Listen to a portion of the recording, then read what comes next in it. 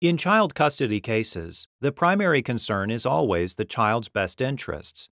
But what if the court finds that the parents provide equally acceptable homes?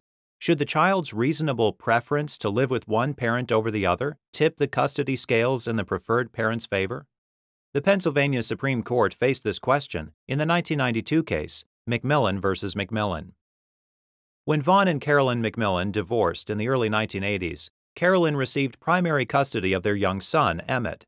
Vaughn received reasonable visitation rights, meaning that there was no set schedule.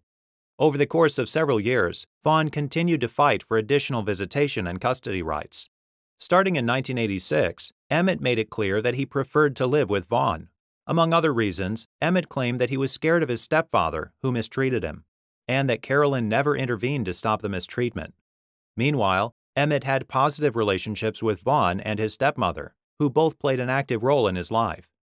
In 1988, a Pennsylvania trial court finally granted primary custody rights to Vaughn, finding that although he and Carolyn provided equally acceptable homes, Emmett preferred to live with Vaughn. The state's intermediate appellate court reversed the custody decision, finding that regardless of where Emmett preferred to live, there were no new circumstances justifying a change in custody. Vaughn then appealed to the Pennsylvania Supreme Court.